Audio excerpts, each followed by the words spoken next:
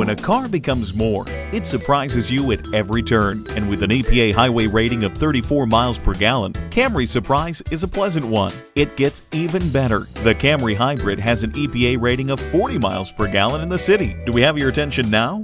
So while Camry rejuvenates the senses, it does so sensibly. The ultra-efficient Camry Hybrid is engineered to change not just the way you feel about cars, but the way you feel, period. What happens when America's favorite car becomes a hybrid? Along with its impressive list of attributes, Camry, with Synergy Drive, offers a 2.4-liter VVT-i four-cylinder with hybrid synergy, producing a combined 187 horsepower, which produces 70% fewer smog-forming emissions than the average new vehicle. Add to that, dual zone automatic climate control that can run with the engine off. With a 600 mile fuel range, you can show off your 2007 Toyota Camry to your neighbors and to the neighbors two states over.